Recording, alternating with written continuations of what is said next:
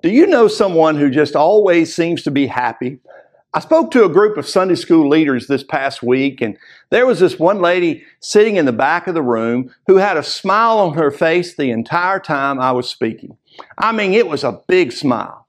Now, there was uh, another gentleman off to the side sleeping, so I know what I had to say was, was not altogether tremendous, but this one lady just seemed to have a constant joy in her heart. Proverbs 10:28 says, "The prospect of the righteous is joy, but the hopes of the wicked come to nothing." The righteous are those who are right with God in relationship. Those who are in that position have reason for constant joy because of the hope they have in what God gives both now and in the future. There's a reason to be glad. The wicked represent those who are lost and, and far from God. They may think they have reason for hope and, and that they don't uh, need God, but nothing can be further from the truth. The hopes of the wicked amount to nothing.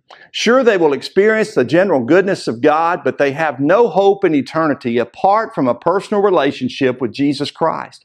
If you don't know Him today, trust in Him. It's only in Him that you will find the joy that you long for.